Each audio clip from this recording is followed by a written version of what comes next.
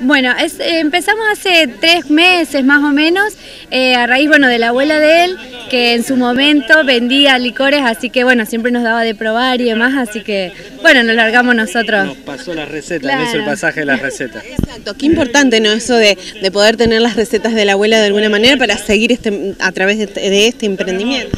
Sí, sí, tal cual. Así que, no sé, el que quiere puede venir a, a probar, estamos acá en San Carlos, en Santa Fe también.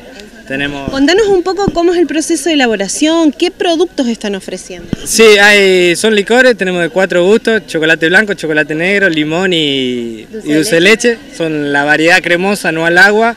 Eh, y bueno, eso, de momento estamos con esos cuatro, cuatro gustos.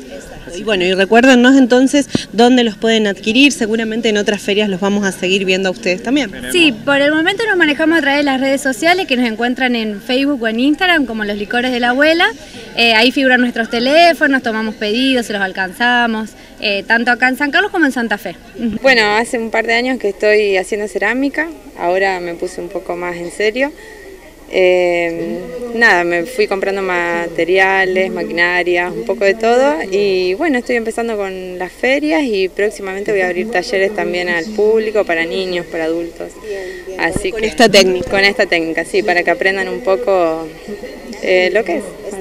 Eh, ¿Qué tipo de, eh, digamos, objetos, artesanías podemos encontrar hoy aquí? ¿Qué utilidad le podemos dar? Y yo ahora estoy haciendo un poco de lo que es eh, utilitario, bowls, más que nada platos y esas cosas, eh, mates, eh, estoy largando una, una, línea de tazas también y después macetas. Me gusta mucho hacer lo que es macetas para cactus y, y un poquito de macetas más grandes. La gente se está inclinando un poco por lo que es distinto, por lo personalizado, bueno, y esto da, esta técnica da para hacerlo. ¿no? Sí, sí, por eso también me gusta, me gustaría brindar eh, talleres para que cada uno pueda darle su toque personal a lo que quiere hacer. Exacto, y un poco transmitir lo que uno sabe. Contanos un poco sobre eso, ¿ya pensás en qué mes podés hacer? Y por lo pronto tengo pensado un taller para niños eh, de verano. Voy a, o sea, los dos o tres meses de verano y bueno, vamos a ir viendo para el año que viene abrir inscripciones para adultos y niños.